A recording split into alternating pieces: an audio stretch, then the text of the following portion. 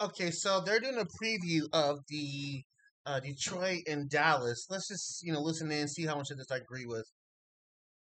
Hit the road off a bye, off two, if you're a One Pride fan, the scene of the crime. End wide open. It is caught. Taylor Decker. Is there a flag down? What else could it be? Touching by number 68. Of course, it's a flag. It's, it's, it's Dallas. Goff back, looking, throwing. It is incomplete off the hands of James Mitchell. And the Cowboys are going to survive. Dallas Cowboys just call it home. They're back from a road trip that went much better than it did for Tom Green. Prescott throws, crossing, it's caught for the touchdown. It's Tolbert. And just like that, Dallas is back over 500. Dak Prescott, he wasn't perfect versus Pittsburgh. He threw two INTs, lost a fumble, Jason Steelers have forced the turnover. but he also threw two touchdowns, the most important one at the end 350 plus yards, 8.4 yards per attempt. Taking off now, fires to the end zone. Caught by Dowdle for a touchdown. What kind of secondary is Prescott up against this week? Detroit has held quarterbacks to a sub 90 rate, only four touchdowns allowed, four picks. Detroit is a fine defense. Uh, I'm going to go with Detroit on this one simply because I'm not sure Dak can deal with that kind of defense. I mean, he didn't do that good against Pittsburgh. I mean, yeah, they won, but he didn't do that good on it. So I, I got Detroit. picks. Safeties Brian Branch, Kerby Joseph playing great. Joseph with three INTs, a rating allowed of zero. He needs to work on lowering that. End zone Great and intercepted by Kerby Joseph. CeeDee Lamb will do battle with cornerback Carlton Davis quite a bit. On one hand, he's allowed 300 plus yards for the year, rate allowed near 110. He also spends a lot of time against WR1s, and he seems to spend a lot of time drawing phantom flags, but what do I know? Lamb, he comes in off a 62 yard, five catch outing. And Prescott protected, throws, the toes down. Lions have held wide receivers to a low 80s rate. Cornerback Terrion Arnold, low 80s rate. Cornerback Amik Robertson, low 70s rate. Aside from Lamb, they have KaVontae Turpin to deal with as well. 50 yards as a receiver last week. Got more looks with Brandin Cooks out. Zach throwing in the middle for Turpin. Who's got it at the 20 yard line? Dallas's top receiver week five, also a wide receiver, Jalen Tolbert, the hero catch, also had 87 yards, was Dak's most targeted dude. Fires open, and there goes Jalen Tolbert. Lions also have tight end Jake Ferguson to worry about. Caught six of his seven targets versus Pittsburgh for 70 yards. Prescott's throws complete. which is all fine and dandy, but like you said earlier, that's a really good defense they're going against. So I, I really don't see how that's going to go. Plus, Detroit got a good pass rush, if I remember correctly. Jake Ferguson, first hit of the night. Ferguson inside the 15. How much time will those guys have to get open? Lions pass rush, 11 sacks, almost three per game is nice. Aidan Hutchinson, the key threat, he'll try both Dallas's tackles out, has six and a half bags. They won't, they won't chip me. I'm like that. Dak was sacked two times by Pittsburgh on 42 pass attempts, so not that bad. TJ Watt was kind of a problem for right tackle Terence Steele, though. He had one and a half sacks. TJ Watt there with a flag down.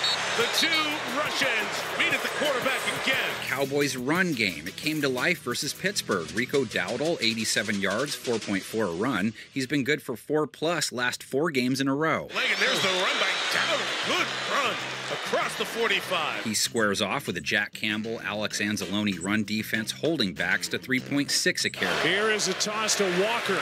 Missed the last two games, and he's wrapped up with a loss. That's a really good stat right there. How you going to run against that defense?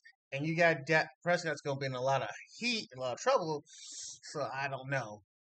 On the play. Detroit did give up 34 plus rushing yards to Baker, Kyler, and Gino. Dak not much running last week. Neither of these QBs runners really. Why would Jared Goff bother if every pass he throws he completes? 19 straight, 18 straight in one game with zero incompletions, NFL record. That's what Dallas's secondary is up against in Goff, the one guy who was like, "We have a bye now? Come on, bro." Amon-Ra St. Brown's going to throw it back to Goff.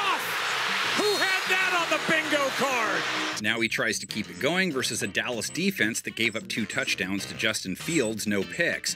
Big butts don't lie, though. They held Fields to 131 yards passing, 4.9 yards per attempt, no pass catcher with even 40 yards. Fields looking deep.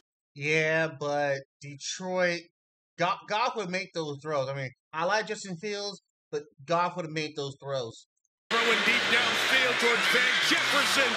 The challenge this week, much harder, of course, going to be tested on every level. The best one on one, according to substitute teacher Garvey, when Trevon Diggs tracks Amon-Ra St. Brown. Oh, so you're an actual saint? Amon Ra, Goff's top target, close to seven catches a game. It looked good. The catch, the toe taps. That's a tutty. Sit the flip down, Jaqueline. But someone on the boys has to keep up with Jameson Williams, too. Gotta be A train fast. Williams, Detroit's leader in yards. The kid flies. Here is a completion to Jameson Williams. He is gone. Tight end Sam LaPorta. Numbers don't pop off the page, but he's still top shelf material. Play action. Dropped off. Pass caught. LaPorta still rumbling. Lions O line. Pressure rate allowed a little high across four games. Left tackle Taylor Decker allowed three sacks so far, but only seven sacks taken total. Cowboys pass rush, down Micah and Demarcus Lawrence, but they did rack Fields three times. he just Yeah, that might be a problem. But Goff gets rid. Well, Goff does hold on to the ball longer than he should, but he got a good wide receiver and he got a good running game. I don't think that's gonna be a problem. I think Dallas is gonna be behind early. Puts Sayamalo on his back and then goes and gets the quarterback. What a play by Linval Joseph. If they heat Goff up, which isn't easy, they have to worry about him dumping to his backs. Jahmyr Gibbs, David Montgomery, averaging five catches a game, over 40 receiving yards. Another completion, another short one, and bouncing off the tackle is Montgomery. What a catch and run! Still going.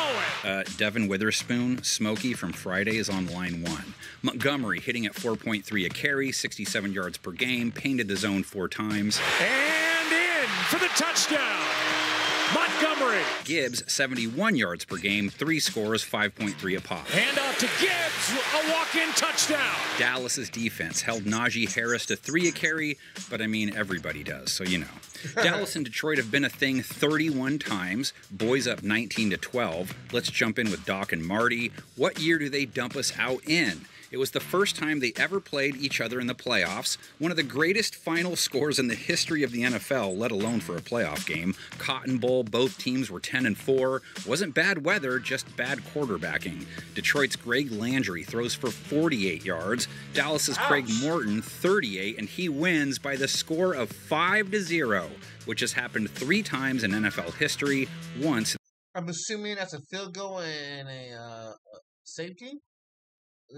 In the 20s. Now only the 49ers stood between Dallas and something they had never won the NFC Championship. But like I said, we're going for Detroit on that one. So I get these are the these are the predictions.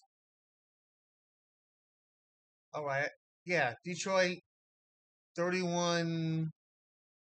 Let's go thirty-one eighteen.